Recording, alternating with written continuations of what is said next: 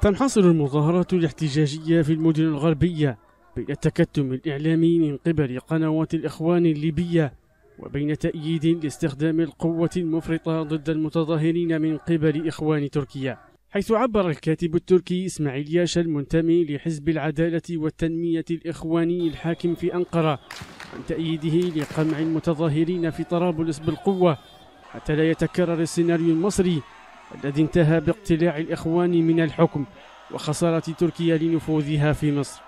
ويعتبر ياشا أحد الكتاب الأتراك الموالين لأردوغان ومن المكلفين باستهداف الجمهور العربي من خلال كتاباته باللغة العربية والترويج لأفكار النظام التركي.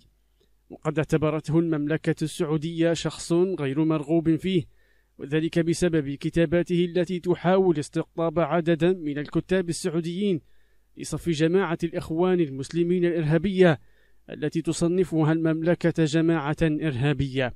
وكان الكاتب التركي إسماعيل ياشا قد علق على موقع تويتر لإبراهيم مقصودة أحد كوادر الإخوان المسلمين الليبيين بأن ليبيا ليست كمصر بإشارة منه أن السيناريو الذي حدث في مصر وتم القضاء على الإخوان بأنه لن يحدث ويتكرر في ليبيا.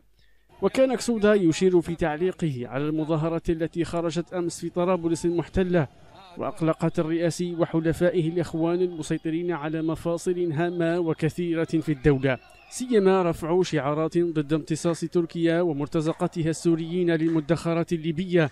وقد حدث ذلك بالفعل ما يعنيه كسودا وهو مواجهة الميليشيات المظاهرات السلمية بالرصاص الحي.